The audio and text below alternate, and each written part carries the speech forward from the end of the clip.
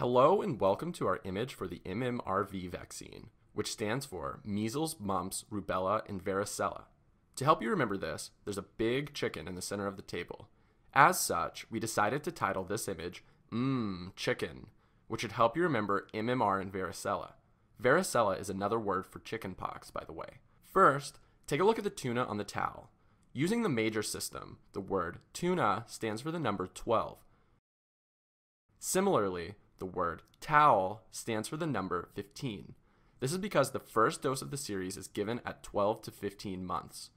Next, we see some rye bread next to some hash browns. The word rye stands for the number 4. The word hash stands for the number 6. This is because the second dose of the series is given at 4 to 6 years. And that's it for the MMRV vaccine. It's a two dose series with the first dose given at 12 to 15 months and the second dose given at 4 to 6 years. Just remember, mmm, chicken, and you'll know exactly when to give MMR and varicella.